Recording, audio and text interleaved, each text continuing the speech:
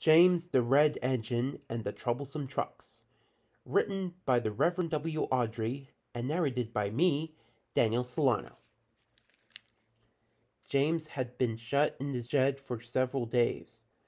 He was sorry now that he had been naughty. At last the Fat Controller came.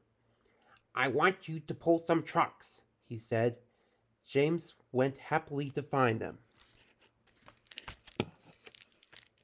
Here are your trucks, said the little tank engine. Come on, come on, puffed James.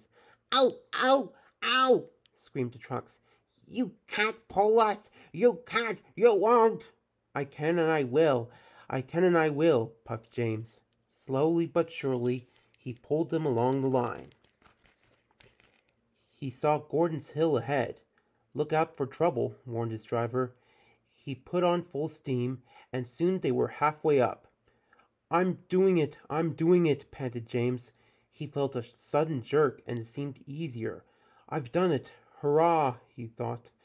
But his driver stopped the train. We've left our tail behind, he said. The coupling has snapped, and the trucks were running down the hill. But the guard was brave and stopped them. Then he walked down the line to halt Edward's train with his red flag. James backed down and coupled up. What silly things trucks are, he thought. There might have been an accident. Shall I help you? asked Edward.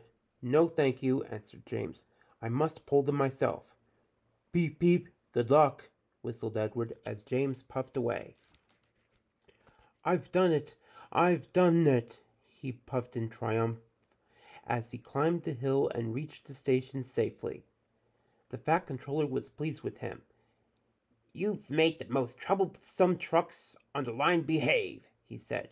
Well done, James.